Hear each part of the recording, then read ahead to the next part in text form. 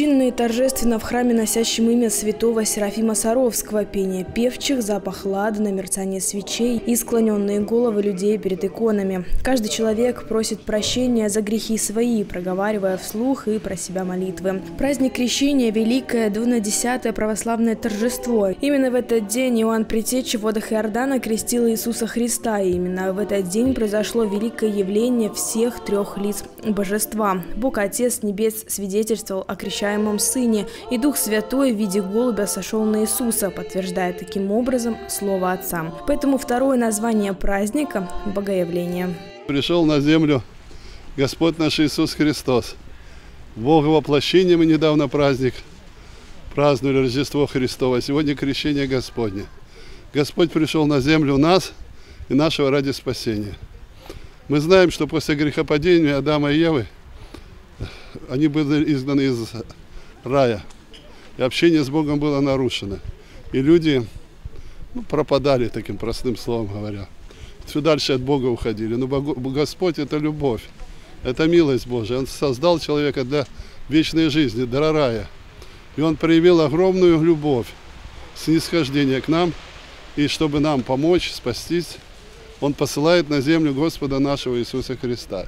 Уже традиционно в крещении у православных храмов выстраиваются очереди за освященной водой. Считается, что крещенская вода набирает особую силу и целебность. Ею лечат раны и окропляют каждый уголок своего жилья, полагая, что в доме будет порядок и покой. Благодатной называют люди крещенскую воду. Она целебная, ее пьют натощак, каждый день можно принимать. Здоровье пьем эту крещенскую воду, очищаем свою душу, свое тело. И просим Бога, чтобы был у нас мир, любовь. Самое главное, чтобы была любовь между людьми, любить друг друга.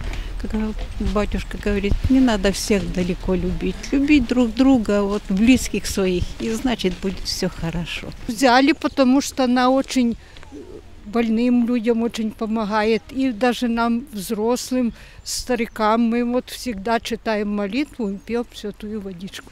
Святую крещенскую воду православные хранят в течение всего года. Пьют понемногу для телесного и духовного очищения. Но стремиться в этот день следует прежде всего не к тому, чтобы набрать воды, а чтобы присутствовать на богослужении, на молебне во время освящения. Благодать и целебная сила крещенской воды – это ответ на наши молитвы, на нашу веру. Это благодать Божия.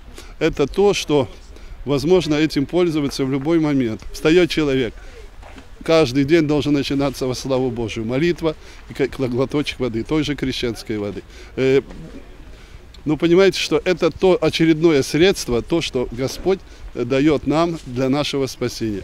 Как родители, которые воспитывают деток, они разные приемы применяют, чтобы как-то объяснить, довести до ребеночка, что это надо делать. Вот что надо умываться утречком, они объясняют, чтобы тело было чистое, чтобы то. Вот так это для тела вода простая, а освященная вода для души.